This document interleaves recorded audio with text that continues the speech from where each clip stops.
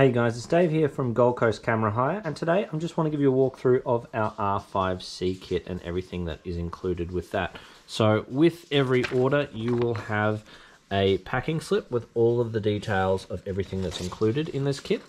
Now, if you've booked for a multiple day shoot and you're shooting video, then we'll also include a second FX Lion Nano 2 battery, so that should keep you going uh, for multiple days and being able to cycle batteries. We also have an additional add-on uh, available, which is the Meike ND adapter. So if you're using ND lenses and you want to be able to have um, NDs behind the lens, then this is a great choice. That also comes with some uh, clear filters as well. So in the kit by default, we have the camera already mounted into a small rig cage. We have a standard uh, mount adapter for uh, EF to RF lenses, so you can use EF lenses on the body.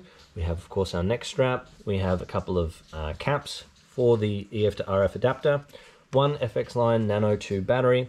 We have five LPE6 batteries, including one in the camera body. We have, of course, a Canon battery charger for LPE6, and we have an Anker uh, USB-C charger. Now, you can use this to either run the body uh, off AC power indefinitely, or you can use it to charge um, either the internal batteries as well. Uh, is another way you can charge it as opposed to using the uh, battery charger. And you can also use it to charge the FX Lion batteries via the USB-C port in the top of the V-mount battery. So very handy. Of course, you've got your AC cable there for your charger.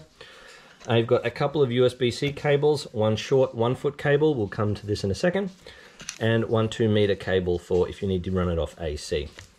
Now I've got a cable here for our card reader uh, and it comes with a, a USB-A to USB-C adapter should you need that. And in here we have our Angelbird card reader. Now one tip with this is that this whole section of the cable needs to go within the recess of the um, card reader. So it has to go all the way in. Oh, sorry, it's hard to just one-handed, like so, in order to function so that's how it's designed to work. We also have a top handle here, which can bolt directly onto the cage. Uh, it's got some ARRI locating pins on the top, so it's not going to twist. So that can be oriented in either direction. We have a uh, mounting block here with a Manfrotto base plate on the bottom. Uh, if you don't need the base plate, please let us know. We can uh, take that off for you and we also have a V-mount battery plate which supports uh, USB-C up to 60 watts so you can use this to power the camera. All right, now I'm going to show you uh, how to set this up on one of our tripods. Okay, to start off we have our um, rail block. So like I said, it's got a Manfrotto base plate on the bottom so it works with any uh, standard Manfrotto tripod. If you have your own tripod, uh, of course we can swap that mount out for you. So always start with that. Then we take our camera, which already also has a Manfrotto base plate designed to go directly onto this rig.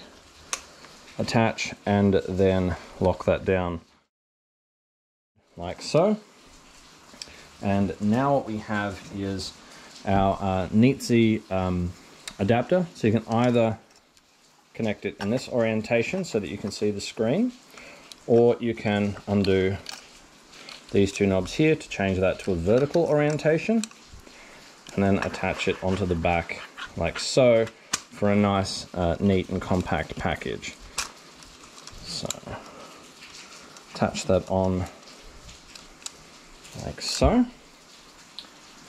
Then we just take our FX Lion Nano battery mount that onto the back grab our short USB-C lead and here we have a USB-C port, so we'll take the um, right angle portion of the cable there, attach it to there, and then using the port lock, and please do use the port locks if some of the um, ports in this uh, camera body are broken. It's a very expensive repair to have to do, particularly on the um, uh, micro HDMI. No cameras should be using micro HDMI these days, but here we are. So on the top port, we have a USB-C port. Insert that clamp that one down. And the power button is on the top of the rig and should light up blue. So once that happens, you'll notice that the charging icon has activated on the top of the camera. Okay. So now that we've done that, the rig is essentially uh, ready to go in kind of a run and gun style configuration. Again, you can orient this however you want, um, but this is how we like to pa uh, power the camera for extended shoots.